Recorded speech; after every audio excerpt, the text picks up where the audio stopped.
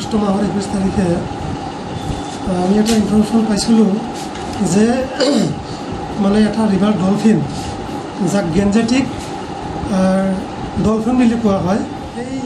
যিটো গেঞ্জেটিক river dolphin সেইটো তেওঁলোকে কাটি পেলাই পিচ পিচ কৰি পেলাই মানে যিটো অপৰাধ কৰিছে তাৰ কাৰণে আমি নুৰজামাল চৰকাৰক আজি বাইছ তাৰিখে পুৱতি নিশা গৈ পেলাই তেখেতক এৰেষ্ট কৰি আনো আৰু এৰেষ্ট কৰি আনি আমি এতিয়া তেওঁলোকৰ যাৱতীয় ফৰ্মেলিটিজ মেইনটেইন কৰি আমি তেওঁলোকক এতিয়া জেল হাজতলৈ প্ৰেৰণ কৰিম।